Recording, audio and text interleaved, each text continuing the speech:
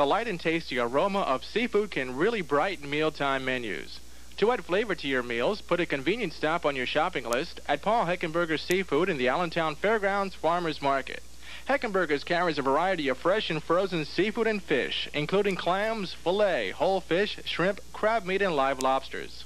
Heckenberger's also offers a full line of salads, like shrimp, seafood, and potato. Also, pastas and puddings are available. That's Heckenberger's Seafood at the Farmers Market.